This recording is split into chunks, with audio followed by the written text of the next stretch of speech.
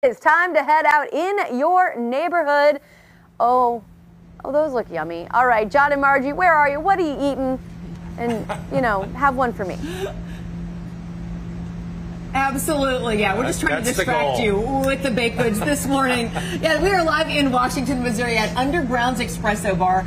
And Joey Connolly is the owner here celebrating a year at this location Year this this week. location. Yeah. Congratulations. Thank you. We appreciate it. Now you moved down here from another location where you were underground. We which were is where literally the under the from. ground. Yeah. It was kind of a play on words. One of my friends was like, "Oh yeah, it could just be underground, spelled like coffee Grounds. grounds." There Yeah. you It just kind of stuck. Absolutely. Makes sense. That's it. Yeah, you're right along the river, perfect location, It and you have regulars who come in every day. Oh yeah. Every day we have some of the same people, and then we do have St. Louis people that come in even through the week. You know, one, one of our slogans is "We're waking up your day," but you really do wake up Washington, Missouri. You get Oh, yeah. people fully caffeinated. That's our job. Hey, and tell tell the story how you went around, and you still do it, where Yeah. you check out all the beans in the bi-state area. So my wife and I, when we were um, first coming up with this idea, we would travel from we went from Hermann all the way to the east side, on the other side of the east side of St. Louis, um, just checking out every coffee shop we could find, just trying out every bean. We found one we liked, and the place we were at wouldn't give up the name of the roaster. So it took us six months to track down that roaster. Gotcha. it did. It took us six months. You're set now, though. We Uh, are you have set. Lots of baked goods made fresh here. We do. Cookies. Uh, tell us what else you have. Um, we always have eclairs. We have cinnamon roll Mm-hmm. cheesecake. We have Mostis cupcakes today. Usually we have muffins. If you know somebody wants to come in and grab a muffin, Mm-hmm. Yeah. the little guys or little girls. Um, always have gooey butter cake. It is St. Louis. It is, If you don't have gooey butter cake, you don't need to be in business. Um, so our pastry case is normally full.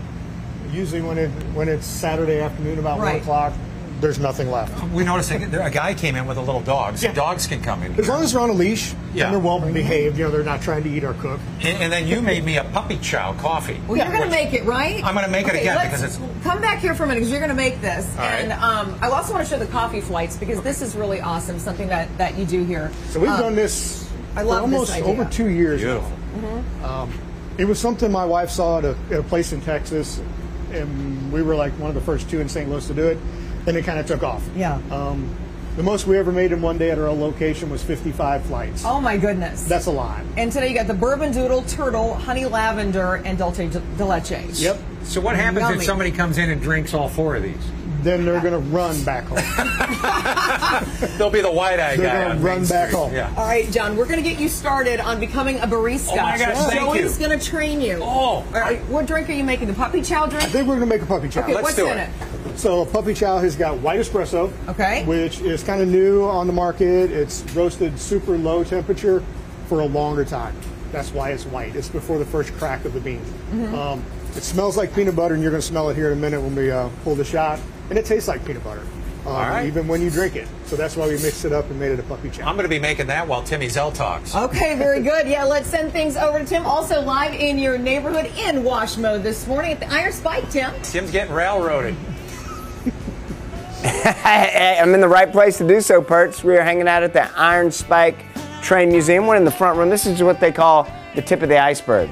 Lots of trains here, but you haven't seen anything yet. We're taking you to the back room. That's coming up. It's Fox 2 News in the morning. We're in your neighborhood, Washington, Missouri. Good morning.